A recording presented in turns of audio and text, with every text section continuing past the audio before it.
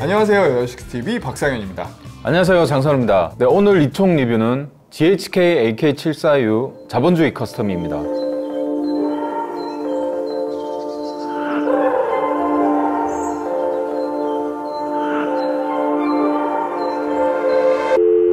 problems on problems on problems on problems on problems on problems. I solve them. I run through the money, the pressure be calling. Left on my blessings, I feel like I'm falling. The birdie is back. Tell me I'm garbage, I'm going through something, that's why I ain't calling. Phone and progression, it's all that I wanted. The phone and affection, I summon and dub it. Cause they got problems on problems on problems on problems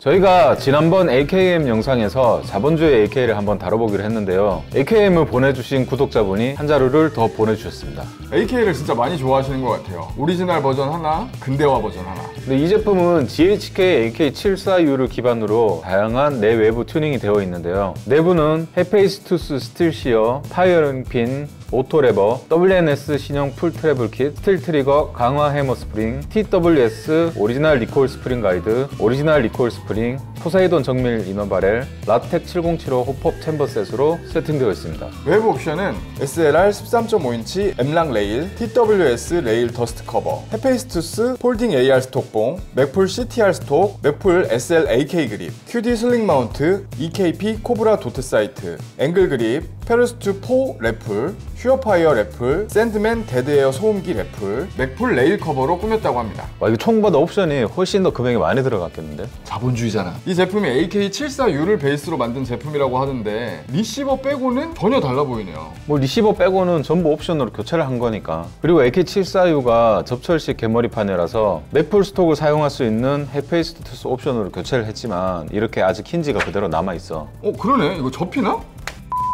이게 AK74U 옵션이라서 이렇게 접히는 거지 실제로 접으라는 건 아니야. 아 AK도 자본주의가 들어가니까 확실히 그럴싸해 보이네요. AK를 베이스로 custom할 때 대부분 AR 계열의 옵션들을 장착하게 해주는 옵션 부품들이 많은데 실총 중에는 기관부만 AK 타입이고 AR 탄창도 사용할 수 있게 해주는 그런 너무 나간 제품들도 있어. 그런데 이 총은 딱 AR처럼 실용적이고 균형 있게 잘 setup을 한 것 같아. 아 근데 진짜 너무 길다. 심지어 카메라에 다 나오지도 않을 것 같은데? 그래도 라이트나 레이저는 파지했을 때 간섭이 없는 적당한 위치로 잘 세팅을 하신 것 같아요. 라이트나 레이저는 실용성 면으로 보면 바렐 끝에 위치하는 게 좋긴 해 왜요? 이렇게 뒤쪽 편에 위치하면 라이트를 켰을 때 앞쪽에 음영이 지게 되거든 그런데 우리가 게임에서 라이트를 켜면 몇 번이나 켠다고 그냥 마음에 드는 곳에 잘 세팅하면 되는 거지 맞아요. 자기가 만족하면 되죠 뭐.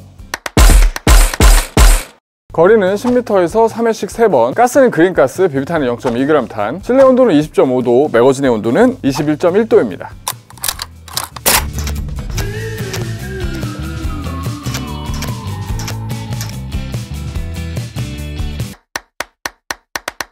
매거진의 용량을 확인해 볼 텐데요. 우선 빈 매거진의 무게는 428g이고요. 가스를 채운 후의 무게는 450g으로 가스는 총 22g이 들어가 있습니다. 현재 실내 온도는 20도, 매거진의 온도는 21.5도입니다.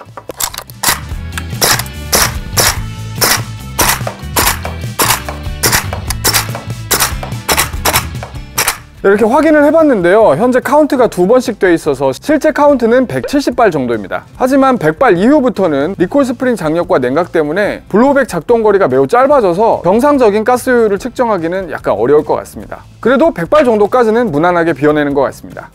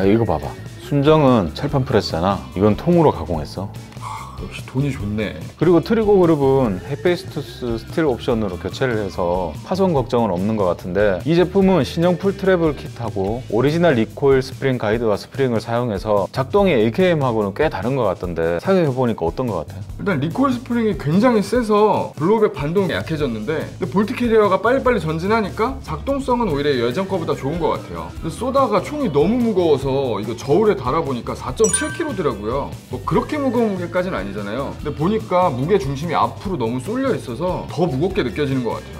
제 체력에 이거를 들고 게임을 뛰기는 좀 어려울 것 같아요. 그리고 집탄도 AKM 순정하고 좀 비슷한 것 같은데 이건 순정하고 다른 구조의 옵션 챔버로 꼭 교체를 해줘야 될 것 같아 그리고 우리가 집탄 측정하는 방법을 저번부터 바꿨잖아 맞아요. 테스트 방법은 왜 그렇게 바꾼 거예요? 알고 쏜 거 아니야? 난 쏘라니까 GBB 같은 경우는 격발을 할수록 냉각이 많이 되기 때문에 뒤로 갈수록 집탄이 나빠지게 돼. 그런데 세 발씩 끊어서 안정적으로 사격을 하게 되면 냉각의 영향을 덜 받기 때문에 이 총의 원래 집탄을 확인할 수 있는 가장 좋은 방법이지. 그리고 실총도 세 발씩 사격해서 확인해.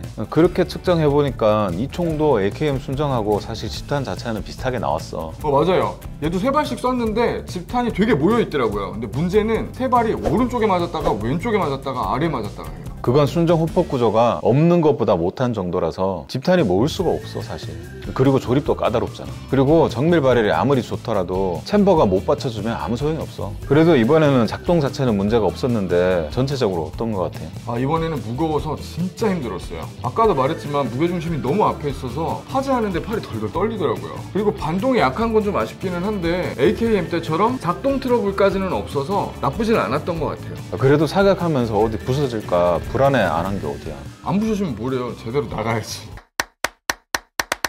네, 오늘은 GHK AK74U 자본주의 custom을 살펴보았습니다. 굉장히 많은 세팅이 되어 있었는데요. 자신만의 custom을 멋지게 세팅한 것 같습니다. custom 할 때 정해진 규칙이나 맞다 틀리다가 아니라 상호 존중을 해주는 문화가 자리 잡았으면 좋겠습니다. 이 제품의 해외 판매가는 500달러 정도이고 국내 판매가는 108만 원 정도입니다. 기본 제품 금액에 추가된 옵션 금액이 상당한 것 같은데요. 이렇게 멋있게 세팅되어 있는 AK를 보니까 저도 AK를 하나 세팅하고 싶어지긴 하네요. 이렇게 자신만의 custom 제품을 소개하고 싶으신 분은 메일을 주시면 안전하게 촬영해서 진행해 드리도록 하겠습니다. 네, 그럼 오늘 여기까지입니다. 이상의 에어식스TV 장선호였습니다.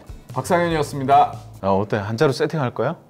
내가 3대 500 치면 한자로 세팅할게.